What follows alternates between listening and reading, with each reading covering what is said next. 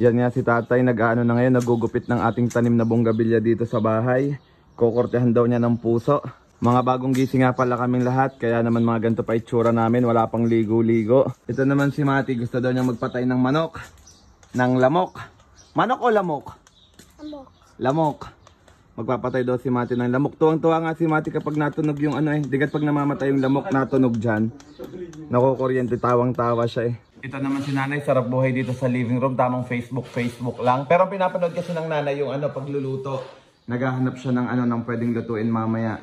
Nakakuha siya ng tip sa Facebook. Gumamit na nga si tatay ng hagdan para magupit na rin yung bandang taas. Ah, ito nga pala yung aming ano. Ito nga pala yung bunga ng aming albicocca dito. Dati kulay berde yan ngayon, medyo ano na. Medyo may dilaw-dilaw na ng konti, malapit ng mahinog. Kuya, Mm. dop, dop is orange na. Ah, dopo. Si, dop, Mamaya. si. Mamaya o bukas? Dopo. Dopo agad? Si. Ibig sabihin ng do, ano nga ibig sabihin ng dopo? Mamaya ano? Mamaya daw kulay orange na yon. Tapos ako naman ito, pagkatapos kong maulanan kahapon, pagkatapos kong amlansya, hindi naman sumakit ang ulo ko, hindi rin sumakit yung katawan ko, kaya buti naman. Kaya tamang vlog-vlog lang ulit tayo ngayon dito. Hello.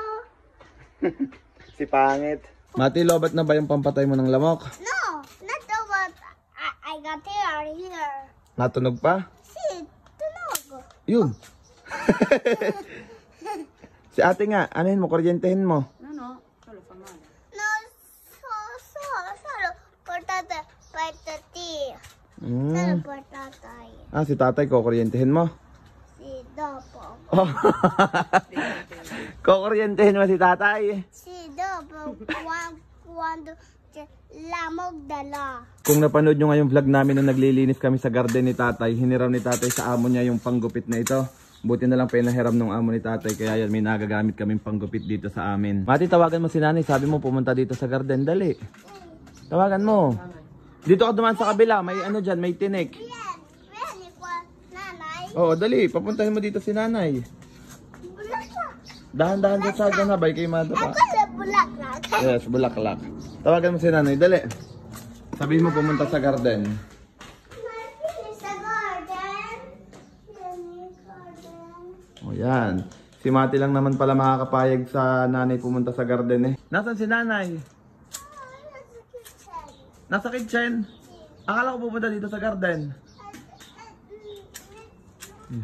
Kakaunin uli. Nasaan na si nanay?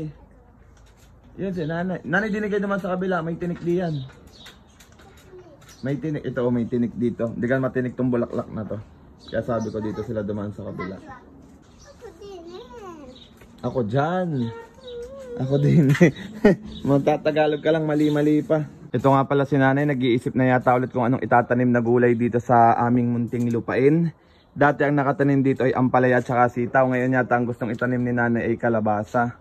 Pero meron kami ditong ano, kalamansi, dahon ng kalamansi, tapos avocado, tapos meron din tayo ditong orange. May bunga to dati eh, nawala. Pero yan, orange yan. Oh, Ito ang pitay palamog. pampatay ng lamok. Ito ang pitay ang palamog. Ah, pampatay ng lamok. Sabi nga ni tatay, gagawin daw niya tong korting puso. Kaya lang napakataas nun, kaya hindi magupitan. Kaya sabi ni Ma Mate, anong ano yan? Anong shape ito? Circle o heart? Circle. Circle? Circle o heart? Ha? Oh. Circle o heart? Oh. Ano yan? Heart or circle? Ano? Circle. Circle pa din? Puso o bilog? Bilog.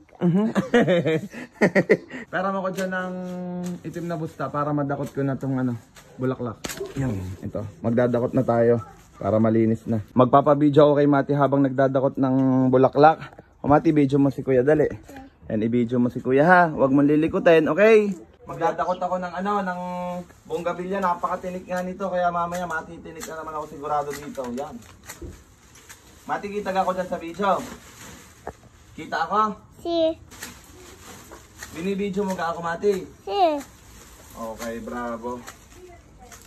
Napakatinik nga nito. Wala kasi kami ditong ano, gloves. Nakalimutang umorder sa Amazon.